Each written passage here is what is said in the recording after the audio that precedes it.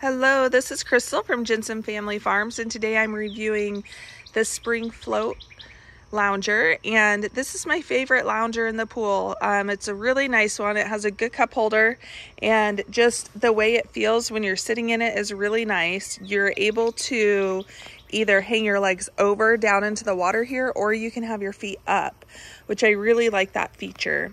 The angle of the pillow here is really nice also. Um, and I like that I can get wet underneath. It's not too hot like some of the like all plastic floats. It's got some handles here, which is nice. It also folds up nicely for storage. And then it has two fill holes, one over here and then one also on the head up here. And as you can see, they're very heavy duty. Um, they're very heavy duty um, ports.